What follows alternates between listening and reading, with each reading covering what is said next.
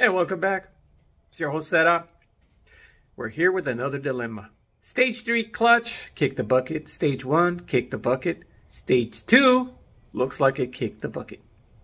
So, um, no, it wasn't overstroked. So I think that uh, the Kennedy stage 2 and stage 3 basically are more like once they reach a certain amount of strokes, they are the fingers probably become weak and they warp, bend, whatever you want to call it. Uh, I have all the symptoms of it being overstroked. Thing is, at this time, I made sure there was no way I could overstroke it. Remember me grinding in third gear? That was me not pressing the clutch all the way down to the wall. Okay, that's why I was grinding. The distance between the wall and my clutch pedal before it engages, you know, starts grabbing, is about that much, about half inch probably less than half an inch. So there's there's no way I can overstroke it. So I, am thinking not a it's not good for a daily driver. So I got some I got a Porsche diaphragm now, uh, pressure plate. So I don't expect this to happen again. The Porsche is for a little bit more, you know, more horsepower, but it's no longer turbo approved. So, uh, damn it. And I got a lot of parts for the turbo too. I've been slowly building up parts.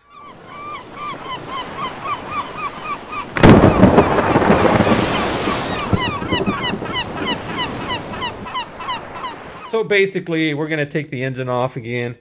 And I'm not looking forward to that because it's a pain in the ass on these Type 4 engines. It's not like that Type 1 engine, about half an hour hits down.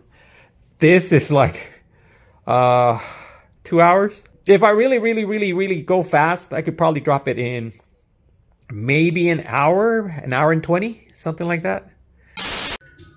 Man, this thing needs a wash. I was gonna wash it, but I don't have a clutch anymore. so I couldn't wash it. The whole idea was like, yeah, I'll get it to the wash, but it, it didn't want to engage the gears anymore.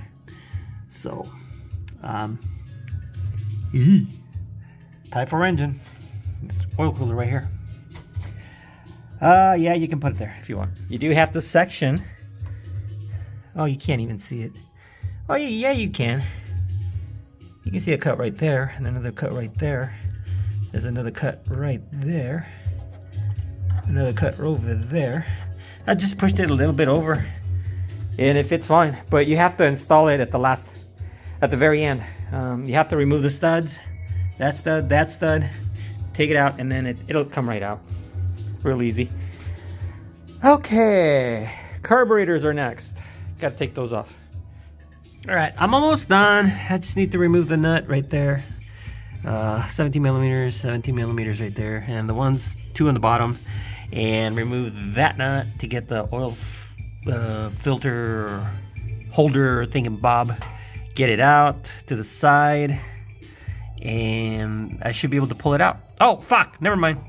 Pulley. I need to remove the pulley. Damn it. Forget about that. All right. Almost there. Uh, this thing is so grimy, it's not even funny. So, the threads are just caked with dirt. Um, just caked with dirt. It's just dirt. Man. Ha! Got it. Almost. Whew. Okay, highly recommend you pressure wash it before you do this shit. I gotta take the washers off. You know what? I'm actually gonna try to pull it out with the with the pulley still on it. It might work. It might not. Have a feeling it's not. But I don't want to keep taking that off every time I take off the engine. So I'm gonna try it. If not, I'll just push it back in and then take it off. No biggie. Okay, so I'm just removing the oil filter bracket housing slash whatever the fuck you want to call it. Um, my English is not perfect, okay? Just be glad you can understand most of what I say. it's not perfect. I am not an English, you know, student, I guess. Well, I'm still a student student of English language. I am an idiot when it comes to choosing the correct word. That's just the way it is. What do I speak? Spanish. It's Spanish. Y hablo puro español. Así como un indio bajado a tamborazos. Alright. I'm gonna make a fucking mess. I'm ready with my little catcher thingy. Okay, it's not making any mess. That is good. Now, because I don't want to lose my nuts. Sorry, like I said, my English is not perfect. I don't want to lose my nuts.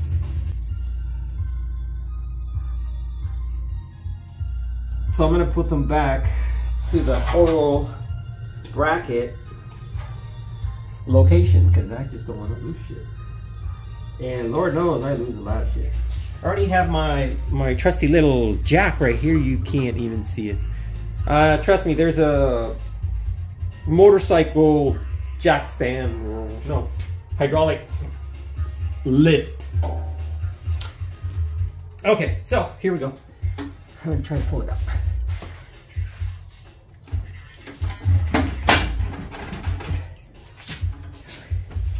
It ain't coming out. So, it's probably too much weight on it. There we go. Let's try that. Okay, it came out. But now, uh, she's not clearing. It is not clearing. I'm gonna see if I can lower it and maybe the angle will allow me to continue to pull.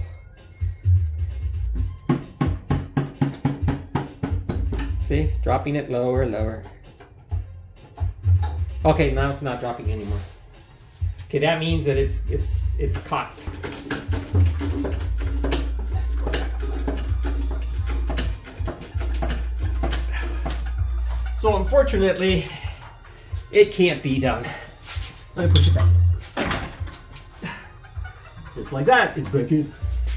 I gotta take that shit off. Well, I'll put it on fast, whatever the fuck that's called.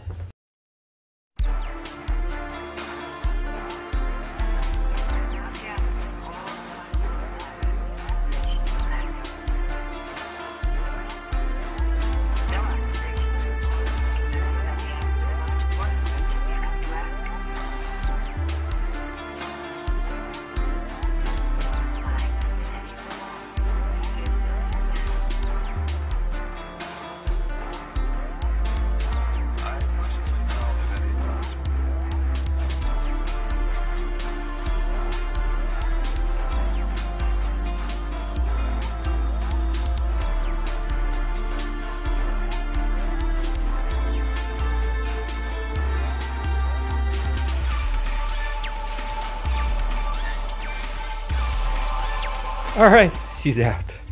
Now we pull it out of the car. Hey.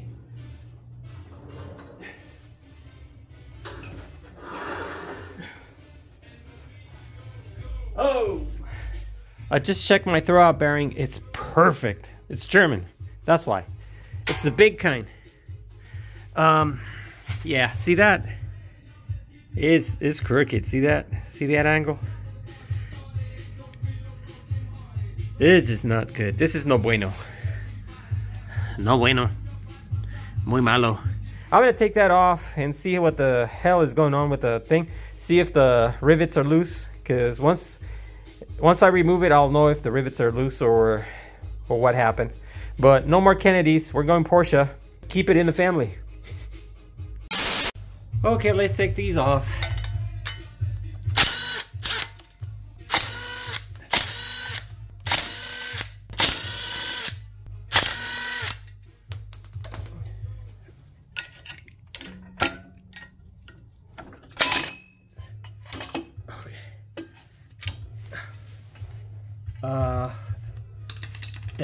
Lot of metal dust in here, and I hear I hear metal. Oh, these things broke off.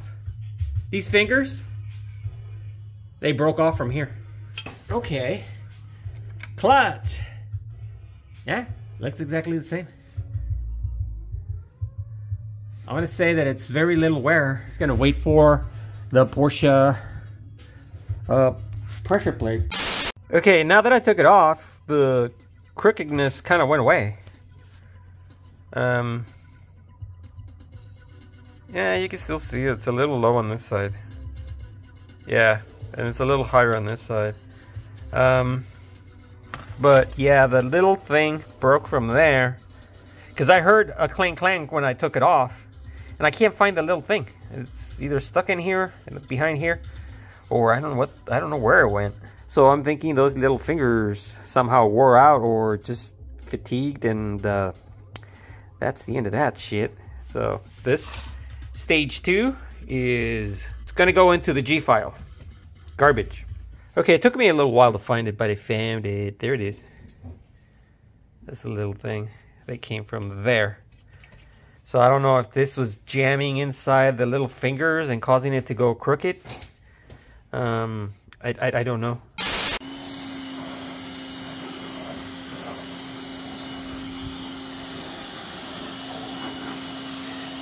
I decided to move my fuel pump from here, as you remember, it used to be on the doghouse over there.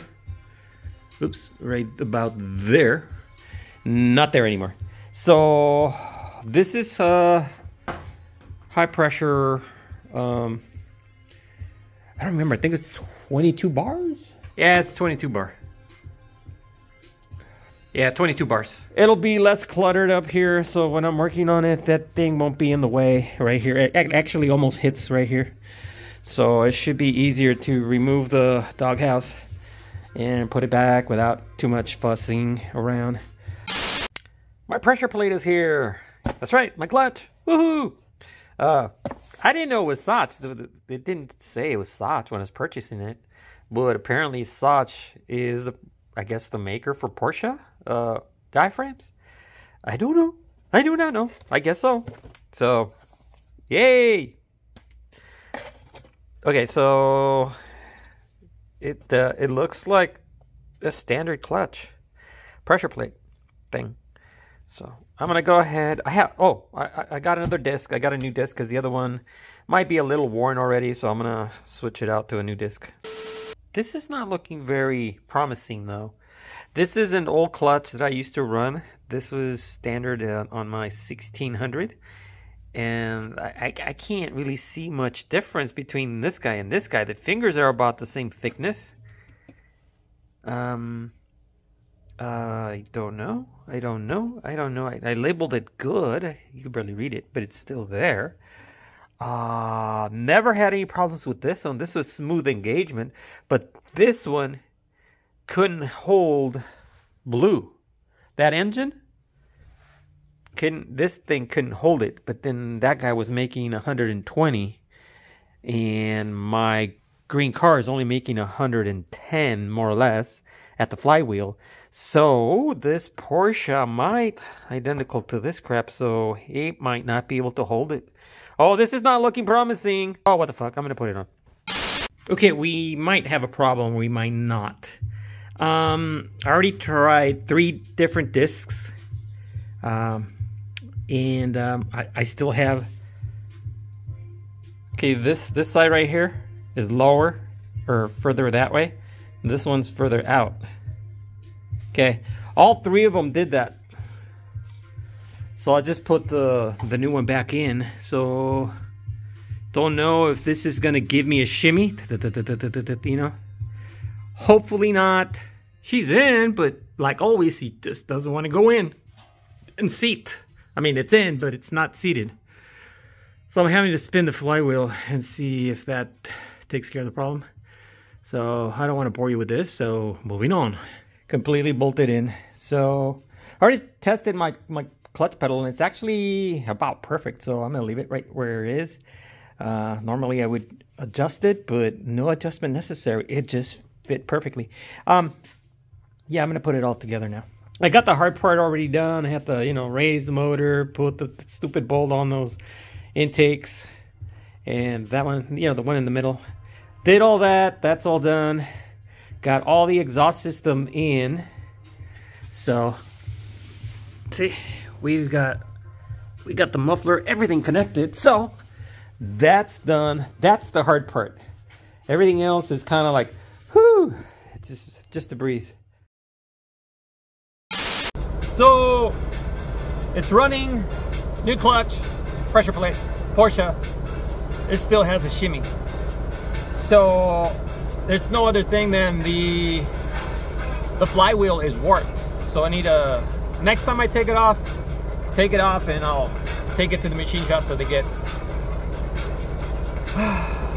flattened. flattened because it's worked. Machined. Because that's the other word I didn't use. Okay, very, very different.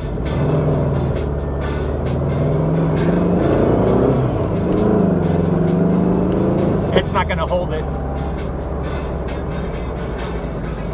This is not gonna hold the the clutch.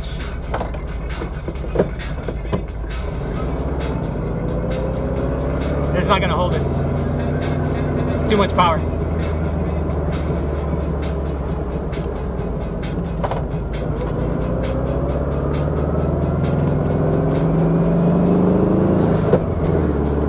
Now, it spins, and then it grabs.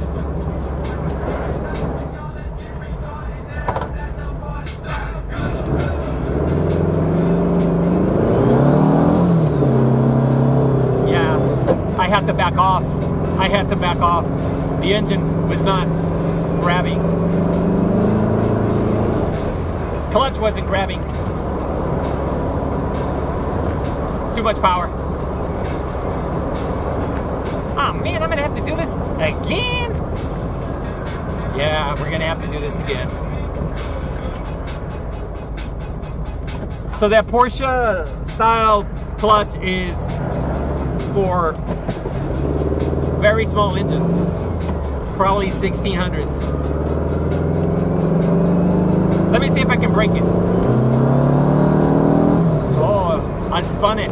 I just gave it and it broke loose. It broke loose. Okay, we're back from our little ride, actually. That was actually, the last clip was actually like a, like a week old. The uh, Porsche style diaphragm uh, pressure plate it's it's not slipping anymore. It grabs just like the Kennedy. Um, very very surprised. The Kennedy stage one, I mean, it, it, grabs like that. All four gears. It just it grabs it. It grabs it. No more slipping. Um, you saw it slipping in second gear and, and third gear and and what ended up happening is I beat the leaf and shit out of it. Okay, um, I had a brand new disc as a darkened clutch or darkened clutch disc and basically it it uh it's designed to slip, get hot, and then it grabs. Okay. Um, that basically trying to save your transmission so your gears don't take a beating when you're shifting gears. That's what it's for.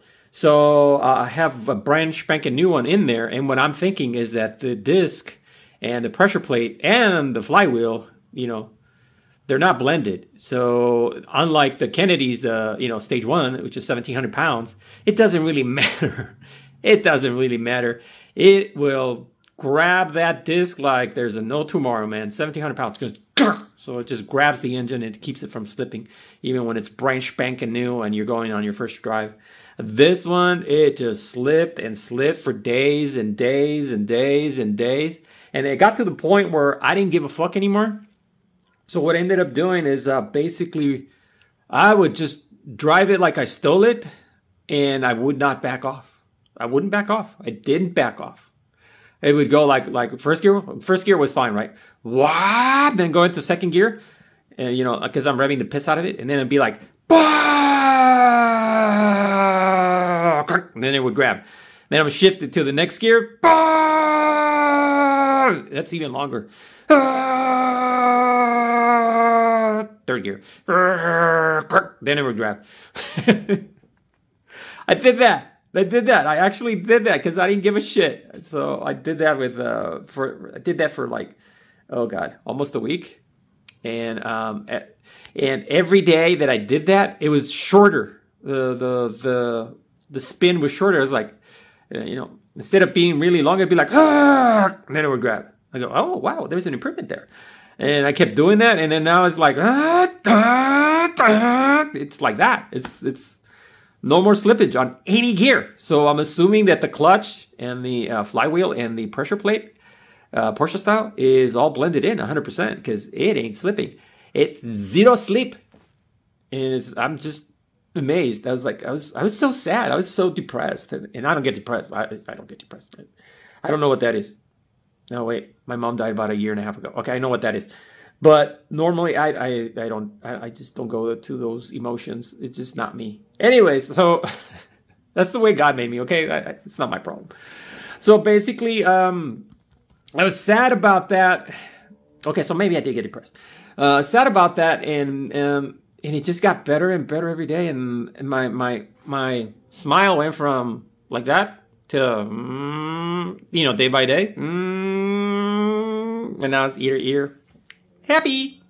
No more slippage, so I don't have to take the motor off because I wasn't looking forward to that. Because that's a pain in the ass. Type 4 engine, oh my god, it's a pain in the ass to do this. So, uh, the moral of the whole story is this, and this is what I want you guys to take from this.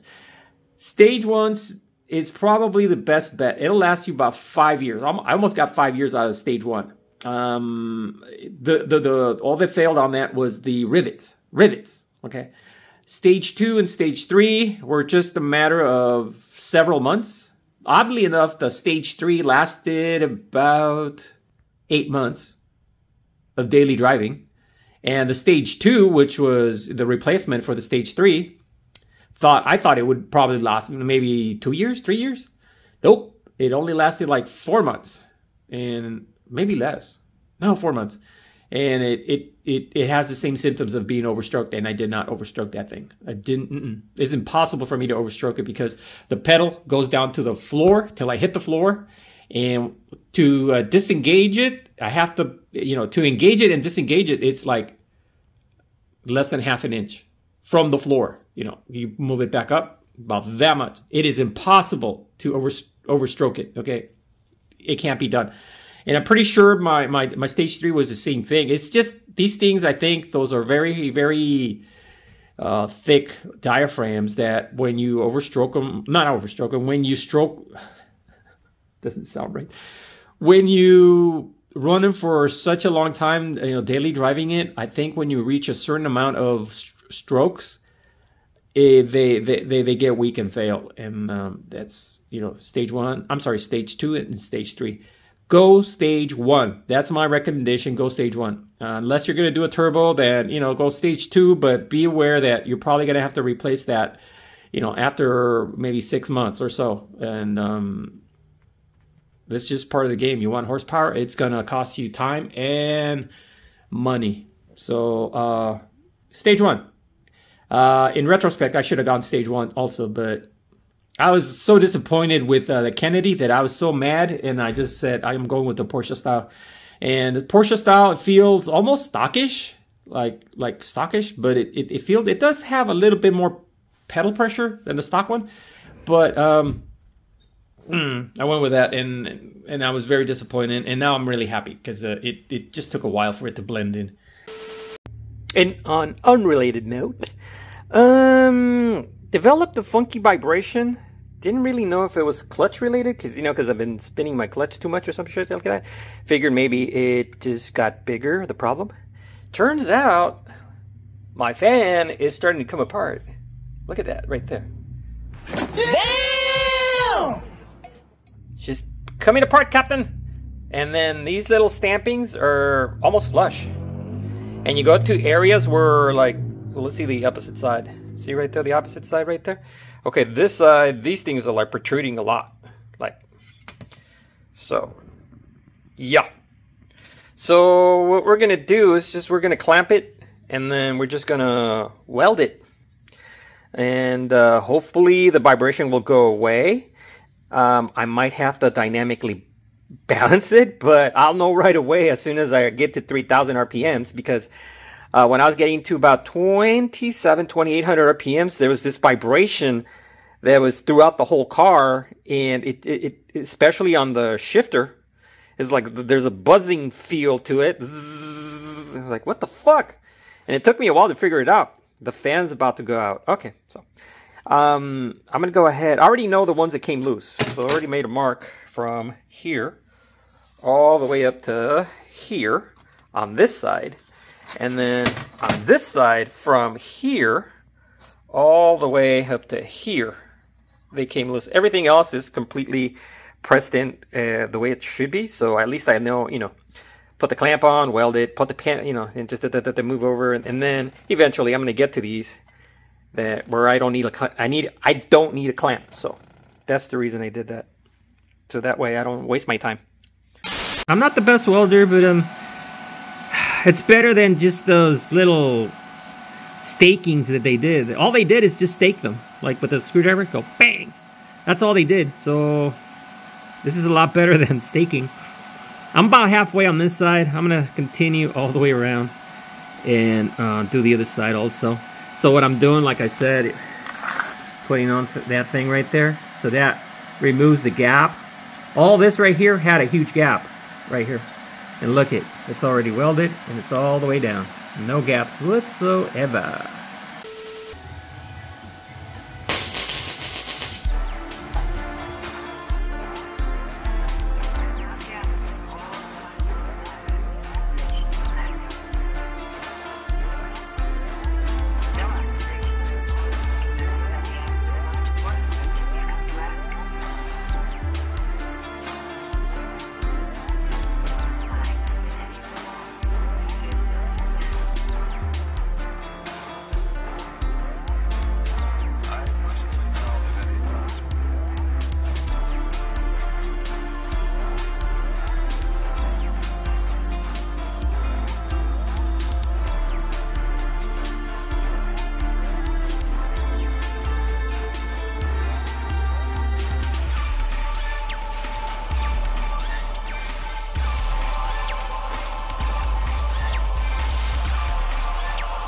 She's all welded. Ah, that's fucking hot.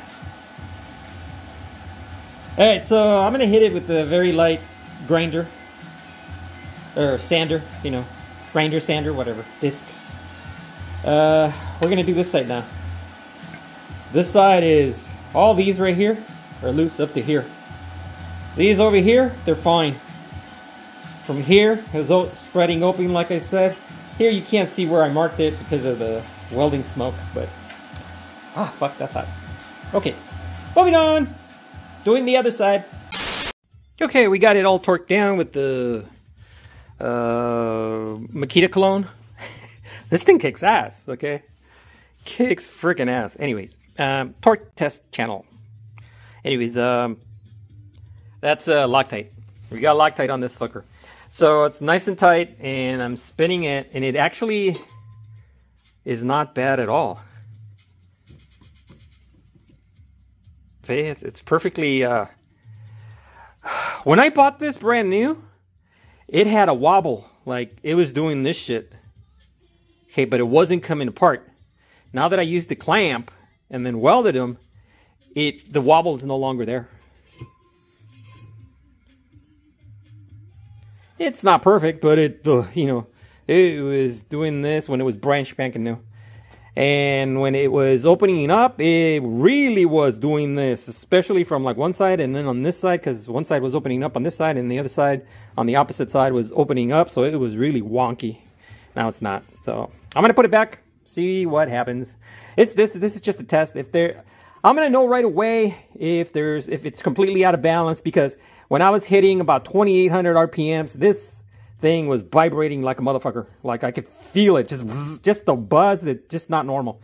So I'm gonna know right away if this thing is balanced or not. You're gonna, I'm gonna be able to feel it. So, so I'm very slowly gonna creep up, you know, my RPMs and just, you know, go with the feel. If it feels good, I'll I'll go all the way up to to rev limiter. So, but till then, I'm gonna go, you know, nice and slow. All right, we're gonna put this back on. I'm not feeling any vibration.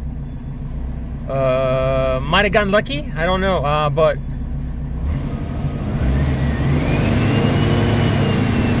three thousand, no vibration. Let's go to four. No vibration. Five. No vibration. Okay. There is no vibration anymore throughout the whole entire RPM. The vibration is gone. I got lucky. I got lucky. Don't have to dynamically balance it. It's it's, it's good. Um, do I recommend you do something like this? No, no. Take it to a pro. Um, can you do it? Yeah, sure. Anybody can do it. Um, but like I said, I got lucky, man. I got lucky. I, I had had a feeling that I was gonna have to have it dynamically balanced. You know, take it off again, take it to the to the machine shop where they'll do a, dynamically uh, balanced thing, and the weight I think has to be inside the the the crevice. Like if he puts it on the backside, it's gonna rub on the doghouse, so that's gonna be bad. So the weights would have to be inside the whole crevice, you know, where you can stick your hand in through the back. That crevice, okay, that's where they're going to have to put the weights. So make sure you tell your machine shop uh, where to put the weights because he's not going to know, you know, how air cooled uh, engines work. So, okay, I got to go. Adios, muchachos. Adios, muchachas. See what it does.